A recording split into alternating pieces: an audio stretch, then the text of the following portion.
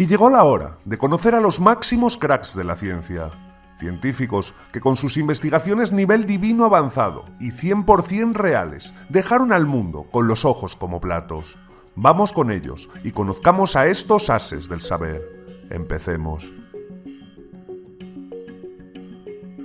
En el puesto número 10 alcanzamos un estudio científico holandés, documentado videográficamente, que obtuvo el Antinobel de Biología de 2003 y cuyo título podía ser el de una película gore de serie B y para rematar, de alto contenido pornográfico.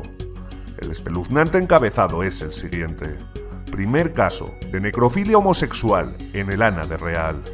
O sea, que un pato se encuentra otro pato del mismo sexo, pero ya fallecido, y entonces decide darle todo su amor. Y para completar la escena, hay un humano boyer que no conforme con mirar, saca la videocámara y los graba. Enigmáticos, tened cuidado ahí fuera. Este es un mundo perverso. En el puesto número 9 encontramos otra investigación holandesa que obtuvo el Antinobel de Literatura de 2015 por un increíble descubrimiento. Este trabajo halló que la expresión ¿eh? Parece existir en todos los idiomas. Maravilloso, ahora sabemos que podemos viajar tranquilos por todo el mundo y cuando nos hable alguien podremos decirle eso para mostrar que no nos estamos enterando de nada. Un avance importante en la comunicación entre los pueblos. En la octava posición encontramos un reciente estudio de científicos taiwaneses que recibieron el galardón de física 2015. Su sorprendente hallazgo fue que con la vejiga llena, la duración de la micción en los mamíferos es similar independientemente de su tamaño. Traducido al lenguaje sencillo, que un ratoncito tarda lo mismo en mear que un elefante o que una ballena o que tú mismo, con una media en la duración de 21 segundos.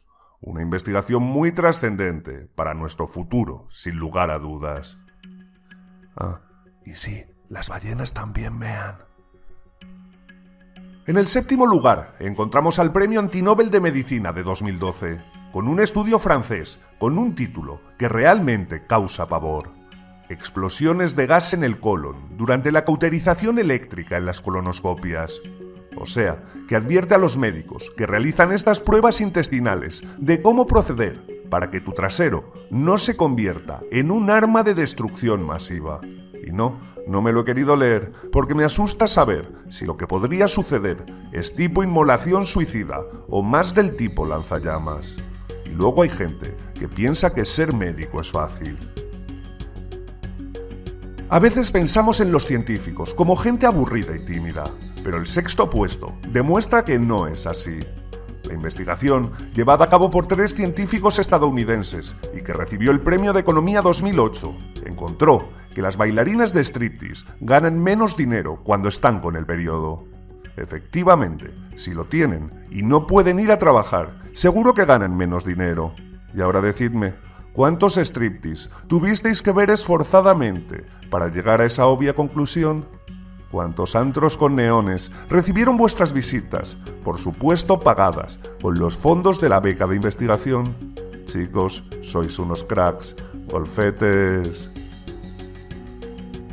En el puesto número 5 viajamos hasta una reciente investigación llevada a cabo por científicos chilenos, por la que recibieron el Premio Antinobel de Biología 2015, por encontrar que si le atas un palo pesado en la cola a una gallina esta caminará de manera similar a la que se supone que caminaban algunos dinosaurios.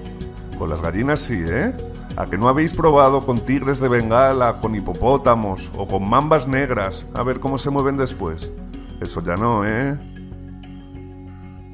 En el puesto número 4 observamos el Premio Antinobel de Medicina de 2007, que recayó en una investigación inglesa que sin ella nadie se hubiera dado cuenta. En concreto, afirmó que el espectáculo de tragar sables, sorpresivamente, puede acarrear problemas de salud cuando algo sale mal. En concreto, tener un papagayo en el hombro cuando éste tiene un mal comportamiento es citado como una distracción que puede ser peligrosa. Así que ya lo sabéis, si decidís meter una espada hasta vuestro estómago, recordad que debéis mantener los papagayos alejados de vosotros. En el puesto número 3, y con un merecido lugar en el podium, encontramos a Michael Smith, un científico estadounidense que recibió el Premio de Fisiología 2015 por realizar un experimento en carne propia titulado Ranking del Dolor, producido por la picadura de abejas, según la parte del cuerpo donde lo hagan. Así, provocó que le picaran repetidamente en diferentes partes de su cuerpo, encontrando que los lugares donde menos duelen son cráneo, punta del dedo corazón del pie y antebrazo, y los que más dolor producen son fosa nasal, labio superior y pene. A ver, Michael, ¿por qué haces eso? Cuando llegues a la casilla de pene, pon que mucho y no lo hagas. Es que no es necesario. No te vamos a exigir eso ni a criticarte, si es que vamos a entenderlo. Michael, eres todo un profesional, pero la próxima vez intenta serlo un poco menos. En el puesto número 2 encontramos el Premio Antinobel de Medicina 2006, que fue a parar a una investigación estadounidense titulada Interrupción del hipo mediante masaje rectal dactilar.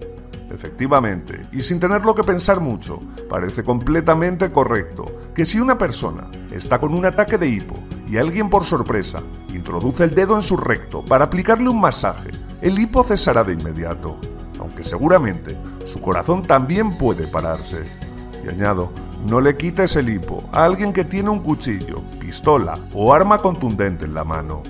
Felicidades por otro estudio, con unas conclusiones tan acertadas. Y por favor, tratad de aguantar la risa la próxima vez que veáis a alguien con hipo. Y en el primer puesto encontramos una investigación tailandesa que fue galardonada con el Antinobel de Salud Pública 2013, bajo el título Técnicas quirúrgicas para el tratamiento de la amputación de penes, en donde recopilan tratamientos que pueden ser útiles a la hora de reimplantarlo. Eso sí, advierten claramente en el estudio, de manera textual. Estas técnicas no son aplicables en caso de que el pene haya sido devorado parcialmente por un pato. Gracias investigadores. Estas cosas deberían saberse. Ahora sé que si viajo por el sureste asiático, antes me acerco a una cobra real que a un pato. Y esta ha sido la lista de experimentos e investigaciones científicas más estúpidas que han sido galardonadas con los premios IG Antinobel, que como digo, y aunque suene extraño, son prestigiosos y suele ser considerado un honor recibirlos, porque garantiza tu visibilidad en la fiesta más divertida de la ciencia, en una noche donde todo vale y las risas están aseguradas. Ahora mismo os debería salir una tarjeta en la parte superior derecha de la pantalla para acceder al resto de los videos de esta serie. Espero que os hayan sacado más de una sonrisa y que hayáis pasado un rato agradable con algo mucho más divertido de lo que suelo hacer. Y pulsad like y compartid con vuestros amigos si os gustó. Suscribiros tanto a este canal principal como al canal secundario acerca de misterios del universo. Seguidme en las redes sociales y recibid mi más sonriente saludo. Nos vemos mañana, poniéndonos ya mucho más serios, con un top acerca de mafias. Esto ha sido Enigma 5 para todos vosotros. Hasta mañana.